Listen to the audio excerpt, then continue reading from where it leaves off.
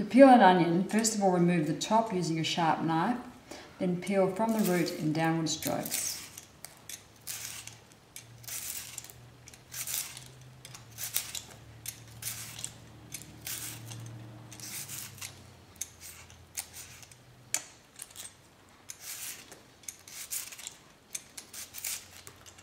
To slice the onion, take a fork and put it in under the root of the onion like that.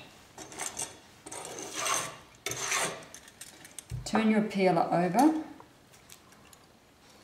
so the blade is now facing upwards. Hold your peeler in your other hand. Go from the bar onto the blade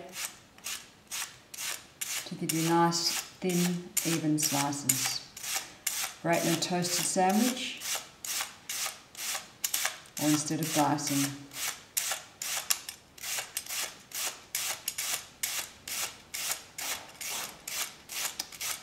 Stop just before the blade gets to the fork.